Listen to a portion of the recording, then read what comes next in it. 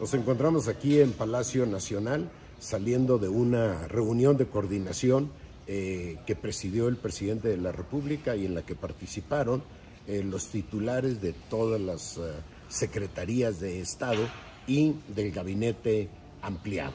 El objetivo de esta reunión fue definir mecanismos eh, de coordinación entre el gobierno federal y el gobierno estatal. El presidente dio la instrucción en síntesis de que la acción del gobierno federal se va a coordinar bajo el liderazgo del gobierno del estado de Sonora, partiendo obviamente de que el gobernador, por su identidad política, un servidor, y por mi compromiso eh, con la cuarta transformación, represento de la mejor manera eh, este proyecto en el Estado.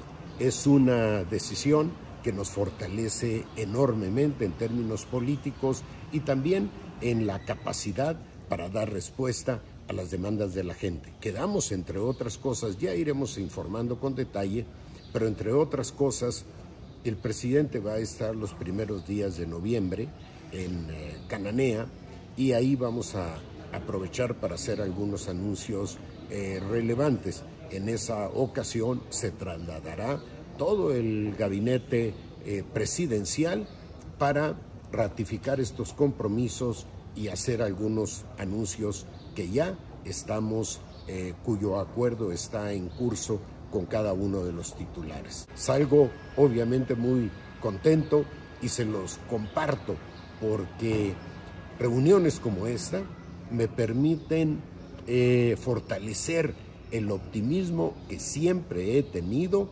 respecto a que vamos a salir adelante en términos muy dignos, muy honrosos y excepcionales para nuestro Estado. Ya verán.